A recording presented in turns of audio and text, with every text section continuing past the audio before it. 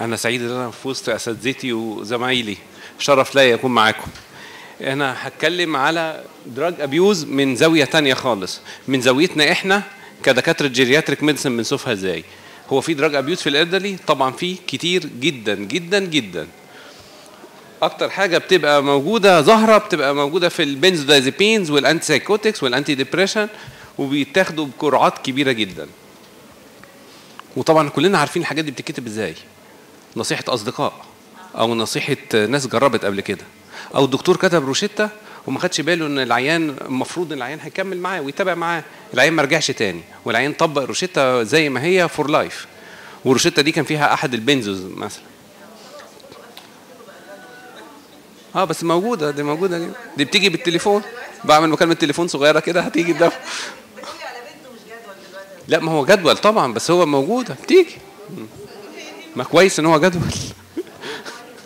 طب دي حالة واحدة عمرها 76 سنة؟ كانت عايشة لوحدها تماما فجأة وقعت اتكسرت وكان حظها كويس قوي إن هي اتكسرت وجالها Colles fracture جاية بتشتكي من إيه؟ هي وبنتها إن هي عندها fear لا تقع مرة كمان. هي مديه history إن آخر سنة وقعت مرتين. عندها past history of osteoarthritis وعندها past history of depression وهي ماشية على benzodiazepines هو في مشكلة في ال PowerPoint هنا دي مش ظاهرة ال PowerPoint بالكامل. لكن ما فيش مشكلة. طيب. أنا عاوز أقول drug abuse و falls ليه falls ليه أنا أتكلم على falls هي falls actually بتهد كل اللي ممكن الدكتور يبنيه. إن whatever العيان عنده إيه؟ وفجأة العيان ده وقع اتكسر. خلاص حياته اتدمرت. الست اللي أنا ضربت مثالها دي لو كانت جالها fracture neck femur كانت حياتها تتدمر تماما. في لحظة الحياة اتغيرت تماما وحياة بنتها وحياة الأسرة والتكاليف اتغيرت بشكل تمام. طيب هي إيه ال falls دي؟ falls يعني unintentional rest to the ground or lower level يعني واحد ممكن يقع على الأرض أو يقع على السرير أو على كرسي. ما بنتكلمش على ال falls نتيجة accidents أو مثلا واحد جاله epilepsy فوقع أو واحد جاله syncope فوقع. العيان مش هينبسط بيا لما يجي له syncope وأنا أحلل أسباب ال syncope في ال falls. أنت وقعت ليه؟ وقعت إزاي؟ وإيه اللي حصل؟ أيوه مهمة بس أنا مش هركز في ال falls أنا هركز في ال syncope. طيب في أمريكا إحنا ما فيش إحصائيات في مصر للأسف. في أمريكا إحنا عملنا دراسات في ال nursing homes على ال falls باعتبار إن ده يعني pool من ال population قاعد في مكان ثابت. هنتكلم على الأمريكان. كل 15 ثانية في واحد مسن عمره حاجة و60 سنة أو أكتر بيروح ال ER بسبب مشاكل في ال falls. بيروح ال ER ما بتكلمش عن واحد بيقع، أنا بقول واحد وقع وقعة خطيرة. وكل 29 دقيقة في واحد بيموت من ال falls. هي common جدا جدا جدا في ال elderly. بيقولوا إنه يعني تلت الناس 60 سنة فما أكتر هيقع. هيقع even لو هو at home. وهيقع even without any environmental factors. المشكلة دي بتبقى ظاهرة جدا في ال nursing homes مش التلت بقى ده إحنا بنتكلم في 65% double التكلفة بتاعت ال cost بتاعت ال falls في أمريكا سنة 2000 كانت 20 بليون دولار. 2020 الرقم هيتضاعف تقريبا. طيب ال mortality اللي هيقع ده احتمالية الوفاة عنده عالية جدا. يعني لو لو حد وقع في الستينات الوفاة احتماليتها مش مش زي ما يقع في sorry في الثمانينات طب إيه ال risk factors لل falls؟ كلنا عارفينها طبعا. في حاجات intrinsic وحاجات extrinsic ال intrinsic بقى مشاكل في ال gait balance مشاكل visual impairment postural hypotension fear of falling لوحدها توقع. medications medications medications طب ال extrinsic مش شايف في شوية مية على الأرض سلك معدي سجادة سلالم. المشكلة اللي بنقع فيها إيه؟ إن العيان يجي يقول لي إيه؟ أنا وقعت نتيجة extrinsic cause طبعا هيعبر عليها بلغته يعني. أنا وقعت نتيجة extrinsic cause خلاص مفيش مشكلة. ما تهتمش بقى ما تكشفش عليا. ده أنا وقعت نتيجة إن كان في مية في الحمام. السلك شنكلني. طب مش السلك ده كان موجود وأنا عديت من عليه بس أنا ما تشنكلتش وولادك ما تشنكلوش وإخواتك ما تشنكلوش اللي هم في نفس سنك ما تشنكلوش فالموضوع مش extrinsic factors بس. يعني لو وقعت نتيجة extrinsic factors هو مش extrinsic factors هو intrinsic factors مع extrinsic factors فالناس دلوقتي بدأت تقول إيه؟ ده precipitating environmental factors. وقعت predisposed واحد. ال interaction هو اللي يهم يعني. كل ما زاد ال risk factors كل ما طبعا معدل احتماليه السقوط هيعلى. لما جم يشوفوا ال odds ratio بتاعت ال risk factors إن هي توقع لقينا إن هو في sector كبير جدا يخصكم. ال drugs و drugs abuse وبالذات ال sedating medications وده يعني مختلف تماما عن الأسباب اللي ليها علاقة بينا إحنا. يعني لو أنا جيت مثلا الحاجات ال main sectors اللي بنشوفها في ال geriatric medicine هقول cognitive impairment ال odds ratio بتاعه خمسة.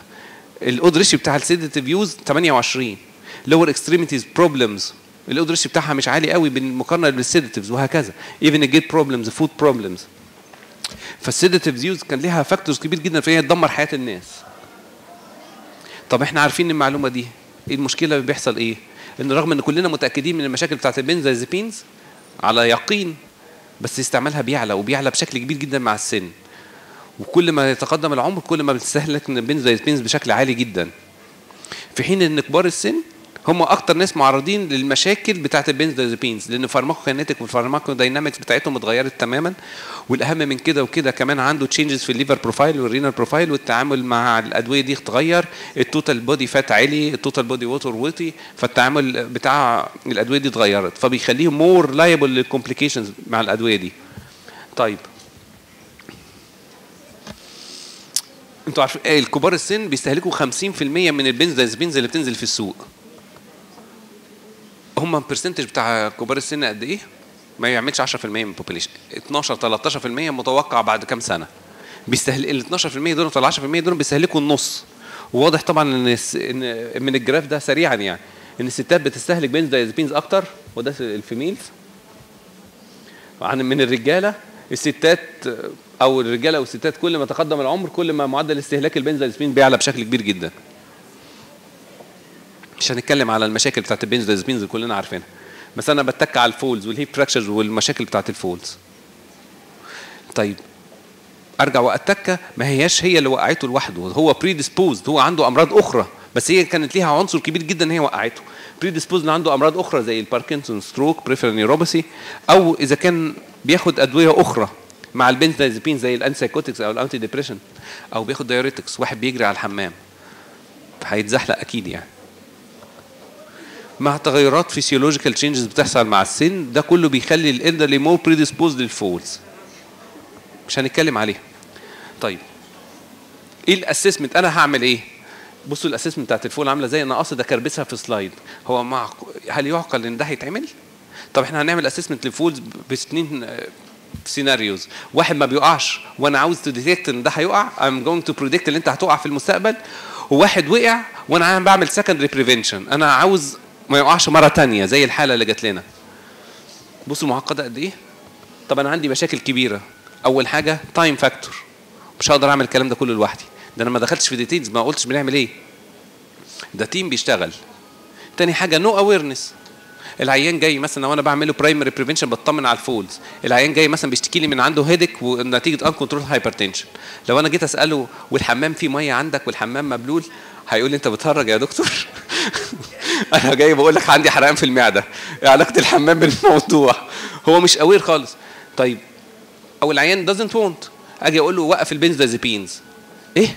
اوقف ده وأنا ماشي عليه بقالي 30 سنة. ده أنا باخد حباية أدخل أنام. أنت جرى لك حاجة؟ أنت بتتكلم أنت بتتكلم في حاجة؟ أنا ما كنتش هقول لك إن أنا باخده أساسا. ده أساسا ده basic ده routine life style بتاعي. أنا باخد ال benzo بتاعي بالليل وأدخل أنام. ده حاجة روتين ده مش في دماغي إن هو دواء أساسا فال patient doesn't want دي من المشاكل الرهيبة اللي بتقابلنا. financial issues عشان كده ال WHO قالت لما تيجي تتعامل مع المشكلة دي ارفع ال awareness ارفع ال awareness ارفع ال awareness أول حاجة ارفع ال awareness وبعد كده اعمل assessment لازم الناس تبقى عندها ال aware بالخطورة. وبعد كده اعمل intervention الست اللي إحنا حكينا قصتها هي عندها مشاكل كتيرة جدا تسبب لها ال falls. كان منها fear of falling وال osteoarthritis بس هنا كان في من هي كانت بتستعمل benzodiazepines بس مش ظاهرة في الصورة. الست دي تتعامل معاها multifactorial اللي أنا هتدخل بال multi بالمشاكل اللي كان عندها ونتعالج فيها و stressing على ان أنا اتعامل مع ال medications اللي بتسبب لها ال falls. نصيحة بقى أخيرة. طب أنا هعمل إيه وأنا بكتب benzos للعيانين؟ اولا يستحسن ما يبقاش ده ال only scenario بتاعي ما يبقاش ده الحل. لازم أستهلك كل ال non-pharmacological management لازم أدي للعيان health education أفهمه إن الدواء ده لفترة معينة. مش هيتاخد يوميا. مش هيتاخد بصفة منتظمه أكتر من ثلاث أسابيع. لو أنا عندي مشكلة anxiety ممكن أستعمل مثلا buspirone اللي هو بوسبار. يهديه شوية ويساعده على النوم. لو عندي مشكلة في ال initiation لل sleep ممكن أستعمل shorter acting agent زي zolpidem لو أنا عندي مشكلة في ال maintaining لل sleep ممكن أستعمل eszopiclone آخر حاجة والأهم من كده وكده حدد دواء لو اتدبست واسحبه gradual واقول له إنه ممكن يحصل rebound insomnia فعشان كده هنسحبه gradual عاجزين عن الشكر يا شباب. شكرا.